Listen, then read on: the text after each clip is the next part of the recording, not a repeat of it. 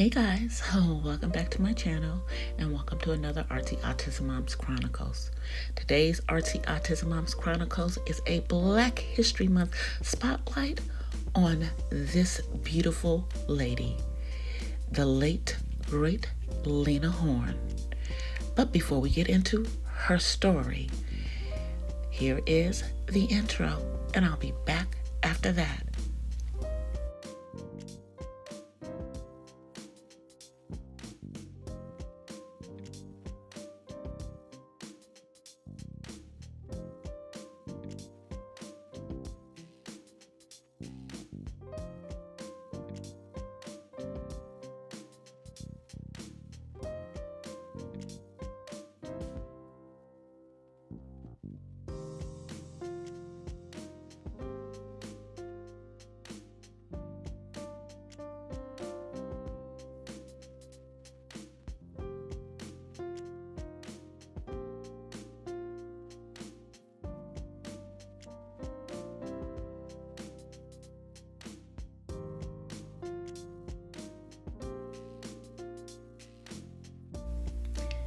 Lena Mary Calhoun Horne was born on June 30th, 1917, in Brooklyn, New York.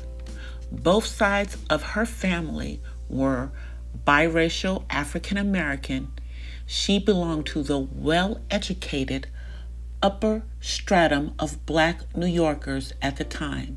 She lived for the first five years of her life in a brownstone at 519 Macon Street. Lena Horne's father, Edwin Fletcher Teddy Horne Jr., a one time owner of a hotel and restaurant, was a gambler. He and his partner, the gambler and philanthropist Gus Greenlee, owned the Belmont Hotel, where Lena came to live with him from age 18 until her marriage the next year. Her mother, Edna Louise Scottron, was an actress with a black theater troupe and traveled extensively. Edna's maternal grandmother, Emily Louise Ashton, was born in modern day Senegal. Horne was raised mainly by her grandparents, Cora Calhoun and Edwin Horne. When Lena Horne was five, she was sent to live in Georgia. For several years, she traveled with her mother, and from 1927 to 1929, she lived with her uncle, Frank S. Horne. He was the dean of students at Fort Valley Junior Industrial Institute, now part of the Fort Valley State University in Fort Valley, Georgia, who later served as an advisor to President Franklin Delano Roosevelt. From Fort Valley, southwest of Macon, Horne briefly moved to Atlanta with her mother. They returned to New York when Horne was 12, after which Horne attended St. Peter Claver School in Brooklyn. She then attended Girls High School, an all girls public high school in Brooklyn that is now become Boys and Girls High School. She dropped out without a diploma. At the age of 18, she moved to her father's home in Pittsburgh, staying in the city's Little Harlem for almost five years, learning music from native Pittsburgher Billy Strayhorn and Billy Eckstine, among others. In the fall of 1933, Horne joined the chorus line of the Cotton Club in New York City. In the spring of 1934, she had a featured role in the Cotton Club parade starring Adelaide Hall, who took her under her wing. Horne made her first appearance on screen as a dancer in the musical short Cab Calloway's Jitterbug Party in 1935. A few years later, Horne joined Noble Sissle's orchestra, with which she toured and with whom she made her first records issued on Decca. After she separated from her first husband, Lena Horne toured with bandleader Charlie Barnet in 1940 and 1941, but she disliked the travel and left the band to work at the Cafe Society in New York. She replaced Dinah Shore as the featured vocalist in NBC's popular jazz series, The Chamber Music Society of Lower Basin Street.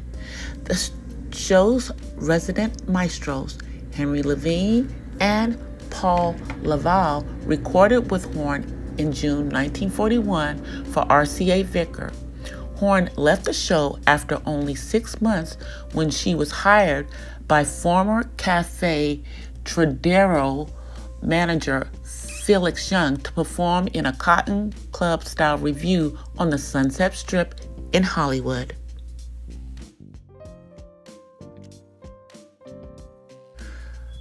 Lena Horne already had two low budget movies to her credit a musical featured called The Duke is Tops 1938 later reissued with Horne's name above the title as The Bronze Venus, and a two reel short subject, Boogie Woogie Dream, in 1941, featuring pianist Pete Johnson and Albert Ammons.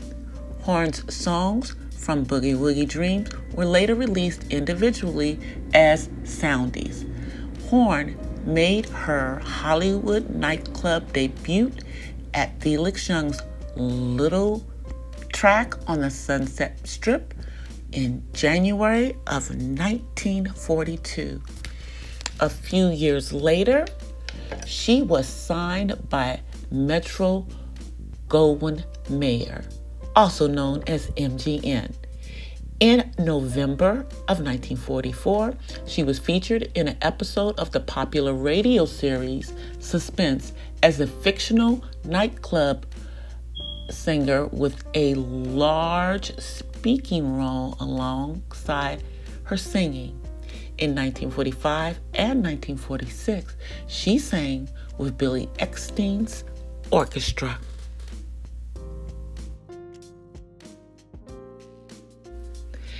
She made her debut at MGM in Panama Hattie and performed the title song of Stormy Weather, based loosely on the life of Adelaide Hall for 20th Century Fox while on loan from MGM. She appeared in several MGM musicals, including Cabin in the Sky, with an entirely African American cast.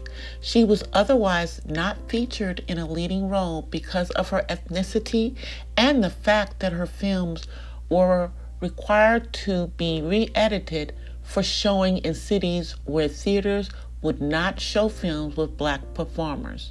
As a result, most of Horne's film appearances were standalone sequences that had no bearing on the rest of the film, so editing caused no disruption in the storyline. One number from Cabin in the Sky was cut before release because it was considered too suggestive by the censors. Horne singing Ain't It the Truth while taking a bubble bath. This scene and song were featured in the film That's Entertainment 3, which also featured commentary from Horne on why the scene was deleted prior to the film's release. Horne was the first African American person elected to serve on the Screen Actors Guild Board of Directors.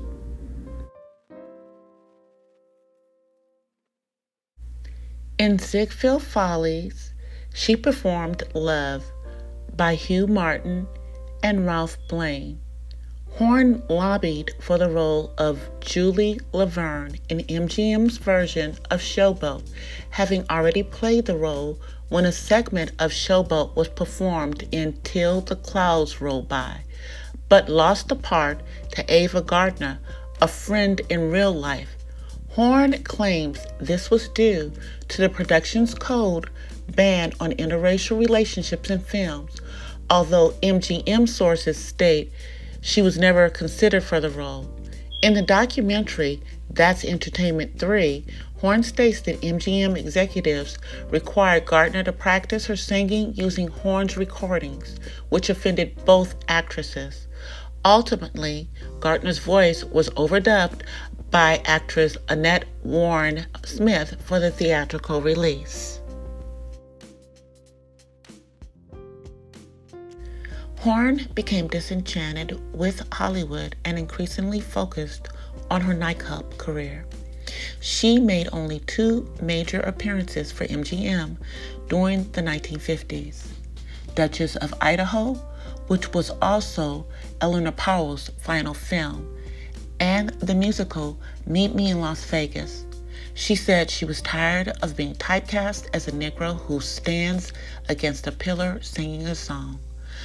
I did that 20 times too often. She was blacklisted during the 1950s for affiliations with the 1940s in communist backed groups. She would subsequently disavow communism.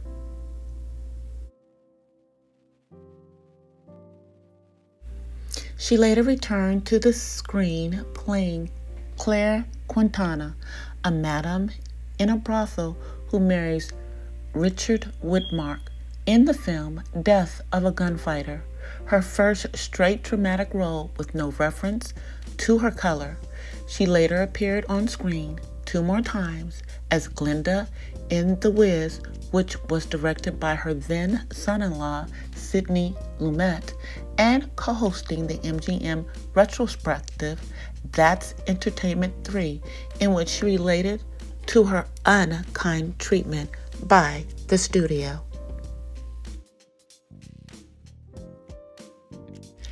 After leaving Hollywood, Horne established herself as one of the premier nightclub performers of the post war era. She headlined at clubs and hotels throughout the United States, Canada, and Europe, including the Sands Hotel in Las Vegas, the Coconut Grove in Los Angeles, and the Waldorf Astoria in New York. In 1957, a live album entitled Lena Horne of the Waldorf Astoria became the biggest selling record by a female artist in the history of RCA Victor label at that time. In 1958, Horne became the first African American woman to be nominated for a Tony Award for Best Actress in a Musical for her part in the Calypso musical Jamaica, in which Horne's request featured her longtime friend Adelaide Hall. Horne was long involved with the civil rights movement. In 1941, she sang at Cafe Society, New York City's first integrated venue, and worked with Paul Robeson. During World War II, when entertaining the troops for USO, she refused to perform for segregated audiences or for groups in which German POWs were seated in front of black servicemen. Horne was at an NAACP rally with Medgar Evers in Jackson, Mississippi, the weekend before Evers was assassinated. And at the March on Washington, she spoke and performed on behalf of the NAACP. She also worked with Eleanor Roosevelt in attempts to pass anti lynching laws.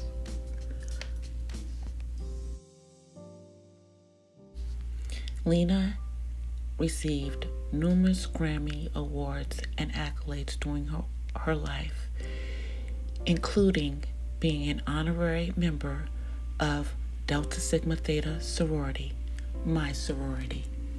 Lena Horne died of congestive heart failure at age 92 on May 9, 2010. Her funeral took place at St. Ignatius Loyola Church on Park Avenue in New York, where she had been a member. Her remains were cremated. I hope that you enjoyed this information in regards to Lena Horne. I'll leave additional information down in the description. If you are not already subscribed to my channel, please subscribe. Also, follow me on my other social media TikTok, Instagram, and on my spoken word channel, The Purple Diva Den. I'll see you guys in the next one. Until then, peace and blessings.